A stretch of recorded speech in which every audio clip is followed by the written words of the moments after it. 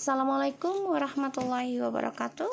Hai guys, kembali lagi di channel aku Lucky Tarot MS Hari ini kita baca untuk situasinya karmik. Insya Allah ini bisa resonate buat kita semua.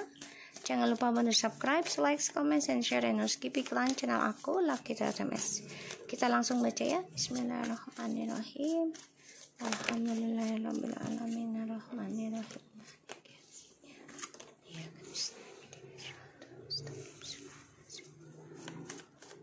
kita lihat situasi karmik. Wow. Baru dibicarakan. Karmik udah keluar. Oke okay, mistes oke okay, karmik sedang memantau ya dari kejauhan nih. Kalau DM ada keinginan untuk kembali bahkan DM juga keinginan untuk menyerang karmik ya secara spiritual juga. Jadi the king of cups the lovers the Knight of Swords, and the High Priestess. The Jasmine. Kayaknya DM akan balas dendam deh ke karmik deh.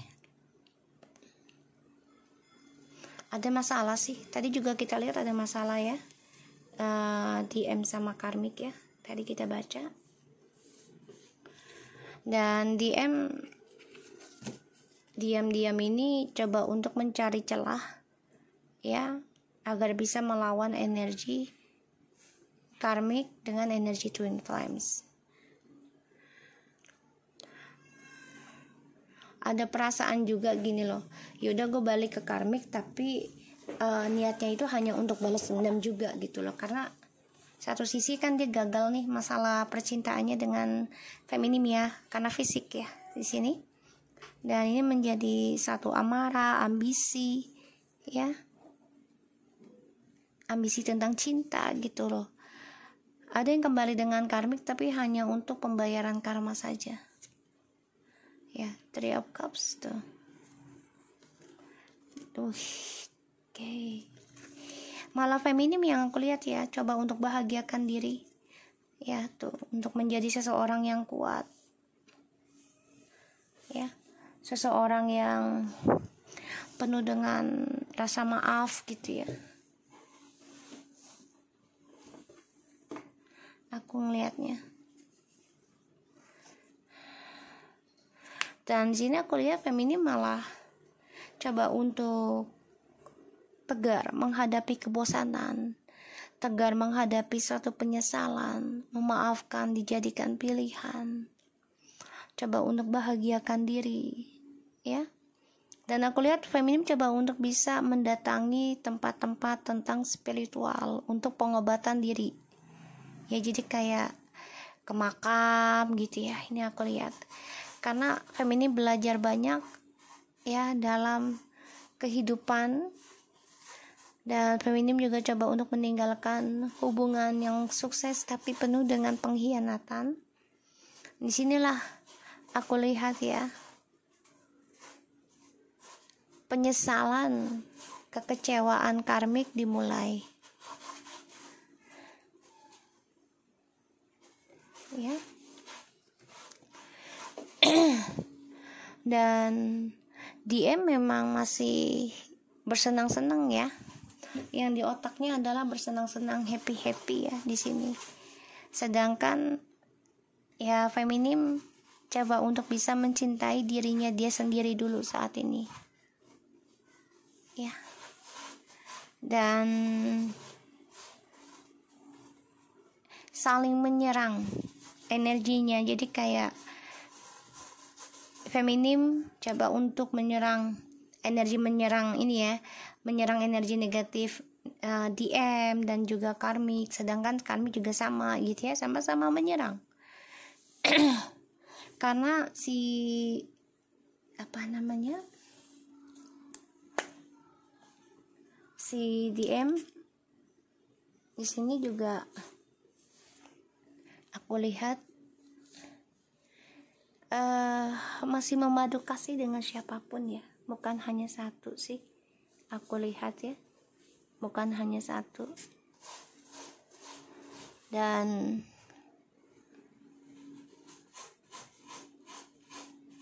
dia memendam perasaan ingin kembali sama kamu sih feminim.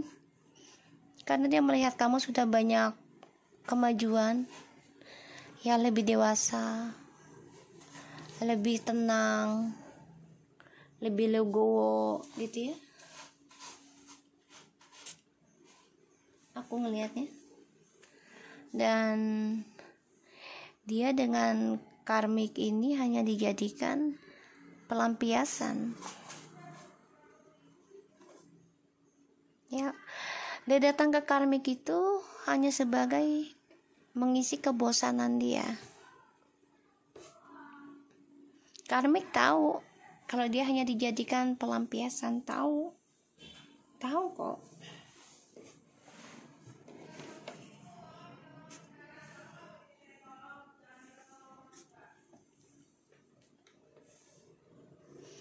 Dan aku lihat memang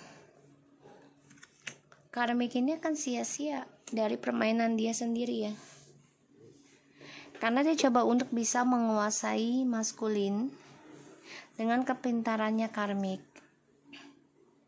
Tapi sia-sia. Dan pada akhirnya karmik ya harus menanam kembali harapannya dia dari nol. Ya. Dia harus bisa menanam kembali harapannya dari nol lagi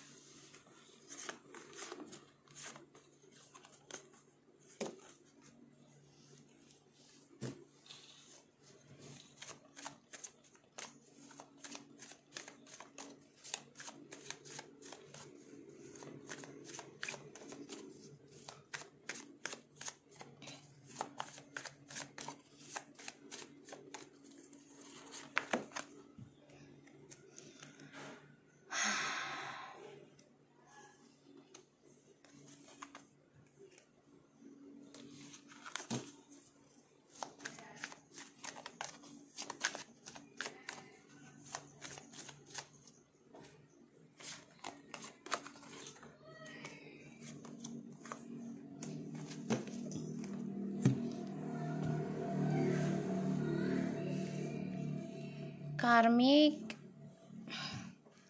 tahu kalau DM masih mikirin kamu. Ingin kembali. Dia stres karena rencana DM tuh sebenarnya ingin memegang masa depan lagi dengan kamu feminim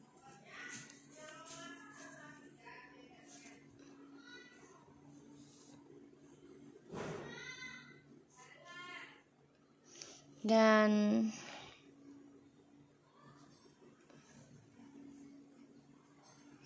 DM di sini coba untuk bisa komunikasi sama kamu nanti. Ya. Kangen sama kamu sih. Ini membuat karmik itu cemburu tapi dia coba untuk belajar santai. Kenapa? Karena dia belajar ingin belajar seperti kamu, tenang, kalem gitu. Ya. Padahal dia menyimpan perasaan kemarahan, perasaan kecemburuan. Dia menyimpan hal ini. Kuat banget energinya. Jadi kayak lihat lo ya. Pembalasan hari gua gitu. Lihat ya di waktu yang tepat di saat lo tenang gue akan bales. Ini. Jadi si karmik ini mencari celah waktu untuk bisa ngebales dendam ya dengan DM dan kamu.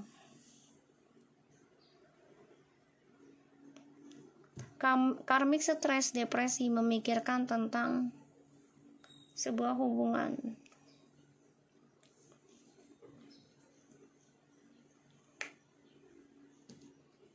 dan aku lihat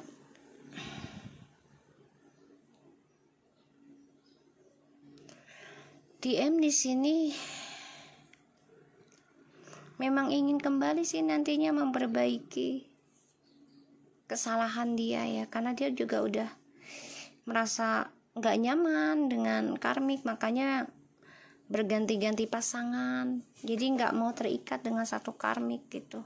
Ini yang aku lihat energinya.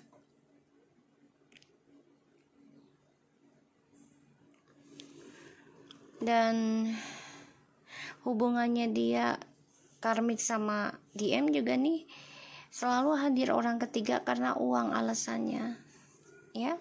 Pada akhirnya walaupun dia komitmen ataupun menikah dengan karmik ini selalu dijadikan pilihan. Jadi kayak ya sama halnya gitu loh. Entah DM-nya dijadikan pilihan atau karmiknya dijadikan pilihan. Sama halnya ketika mereka lakukan ke kamu. Makanya karmik memendam perasaan untuk bisa balas dendam. Semua menunggu waktu ya di sini. Dia coba untuk memperbaiki kekuatan dia dulu nih ya untuk ngelawan DM dan juga kamu. Dia mencari ketenangan kalian dulu baru mereka serang. Kalau kalian udah tenang lengah serang.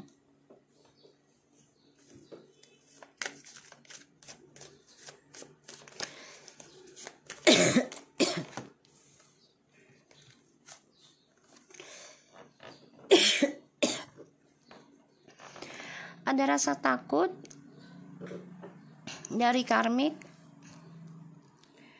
kalau maskulin ini bersenang-senang dengan yang lain. Dan dia sedih dia nggak tenang hidupnya dengan DM ya.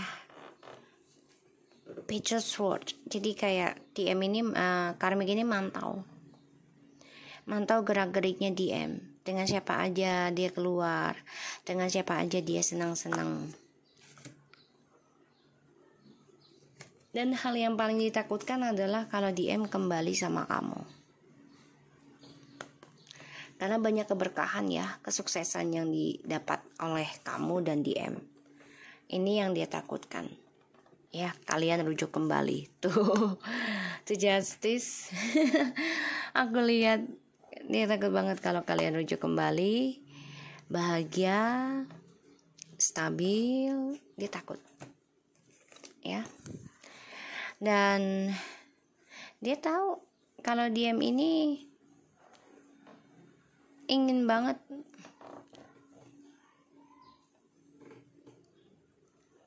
memperbaiki apa yang sudah dia lakukan selama ini. Tuh, ingin kembali ke kamu, memadu kasih dengan penuh tanggung jawab. Tapi sifatnya saat ini memang DM mencari celah agar bisa lepas dari karmik yaitu berselingkuh lagi dengan yang lain ya kalau caranya seperti itu terus pisah sama karmik terus nggak lama pindah ke kamu. Sayang jangan ya. Kalau buat aku jangan dulu. Karena itu karma itu kan harus butuh proses pembayarannya itu ya. Ada sampai tiga tahun tujuh tahun bahkan seumur hidup. Hati-hati. Kalau dia masih begitu terus ya kalau bisa kamu fokuskan aja sama diri kamu ya. Karena si karmik ini mencoba belajar agar seperti kamu memegang dunia menguasai spiritual menguasai masa depan. Dia ingin seperti kamu. Tuh. Ya mampu memegang tentang kesuksesan. Dia ingin belajar kayak kamu tapi nggak bisa. Karena karmanya ini dia nggak sanggup.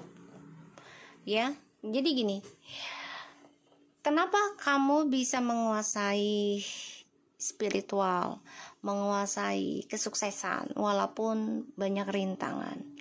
Karena kamu itu sanggup membayar karma. Ada yang sampai setahun, dua tahun, tiga tahun, empat tahun, bahkan tujuh tahun ya bahkan gitu ya untuk memperbaiki diri sampai habis-habisan. Tapi pada akhirnya akan diganti oleh Allah gitu loh. Asalkan ya jangan bosanan gitu intinya. Jangan bosan untuk benahi diri. Jangan bosan dan jangan ada rasa takut aduh gue udah habis-habisan terus nggak ada hasil. Jangan. Apalagi kalau pengorbanan kita itu uang itu digunakan untuk kebaikan karena setan itu nggak suka kita melakukan kebaikan ya. Terutama bagi yang sibuk ya dengan duniawi. Ya mereka nggak ada waktu sepenuhnya untuk tirakat. Pas udah dipikirnya pekerjaan ya. Jadi si feminim ini coba untuk uh, bener-bener bekerja keras ya dari harta pikiran gitu ya untuk bisa membayar karma dulu ini. Butuh tenaga butuh uh, apa sih namanya kekuatan. Sedangkan karmik ini pengen seperti kamu ya aku lihat. Tapi nggak bisa karena ada rasa bosen ada rasa kecewa ada rasa penyesalan dengan karma terus kalau dia udah bosen dia akan nyari yang lain tuh. Ditambah lagi sikapnya si DM ini kan dingin. Ya nggak terbuka juga. Pada akhirnya ya dia kecewa sendiri itu. Dingin dingin dalam komunikasi. Bahkan juga dingin dalam seksual kepada si karmik. Ya. Jadi karmik di sini memantau keadaan dalam kehidupan dia ada rasa takut DM kembali ke kamu ya rujuk dan meraih kesuksesan lagi. Di sini Karmik juga belajar gimana untuk bisa uh, mendapatkan kesuksesan secara uh, batin, secara spiritual dan juga secara uh, kreativitas ya. Aku lihatnya di sini. Jadi kayak ya gue harus bisa minimal kayak feminim lah gitu ya apa yang dia bisa gue harus bisa. Ini yang difikirkan tapi dia kecewa sendiri nanti karena ya niat dia kan munafik ya. Ingin mengetahui rahasianya si feminim, dia bisa aja mencari informasi ya dengan cara menjadi temen dengan akun palsu ya atau melalui temennya untuk bisa melihat perkembangan kamu gitu ya. Tuh dia ingin seperti kamu tapi nggak bisa sih aku lihat. Nggak nggak bisa. Banyak kekacauan drama dari apa yang dia coba uh, dapati ya. Ini banyak kekacauan. Stres juga dia depresi ya aku lihatnya nih. Dan dia kecewa sendiri sih aku lihat. Ya kecewa. Kecewa dengan apa yang dia jalani apa yang dia pelajari karena dia obsesi untuk bisa menjadi seperti kamu. Dia pikir dengan menjadi seperti kamu ya gampang lah. Cuman bayar karma doang. Padahal prosesnya itu luar biasa. Ya. Karena karmik nggak mau menjadi seseorang ya. Orang lain gitu ya. Maunya menjadi diri sendiri. Healing family issue eh karmik DM eh DM feminim ya. Nggak mau jadi orang lain gitu. Situasi karmik. Karmik ini juga bermasalah dengan keluarganya ya. Jadi banyak hal yang harus dia perbaiki. Dia juga masih ada rasa cinta dengan orang lamanya dia selain DM ya. Aku ngelihatnya karena dia penuh dengan topeng ya. Untuk mencari cinta sejati itu jadi kayak pura-pura menjadi orang lain. Agar dicintai. Ya. Karena dia bermasalah. Atau dia ada rasa trauma di masa lalu. Mungkin orang tuanya ada yang berpisah. Ya makanya dia menjadi orang yang penuh dengan topeng penuh dengan drama. Baik aku lihat aja seperti itu.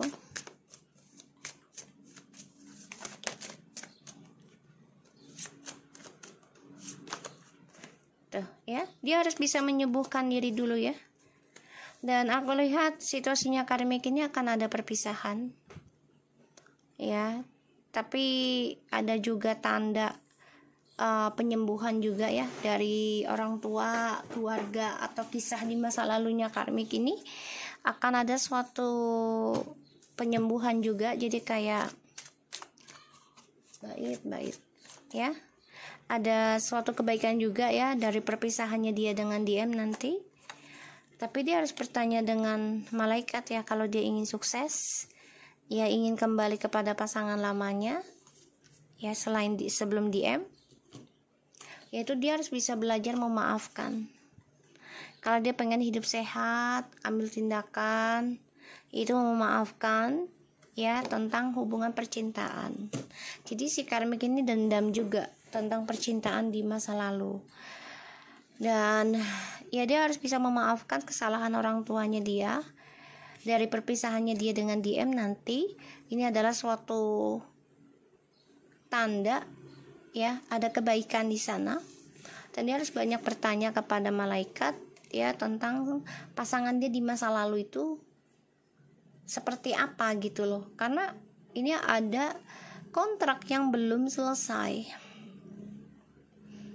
Dan ya dia harus bisa banyak ini ya apa namanya banyak bertanya kepada Tuhan agar mendapat bantuan malaikat tentang perpisahan ini apakah baik atau tidak buat karmik dan maskulin. Oke. Okay? So, aku harap ini bisa resonate buat kita semua. Jangan lupa bantu subscribe, like, comment, and share in skip iklan channel aku. Laki Teratames and take care of you guys.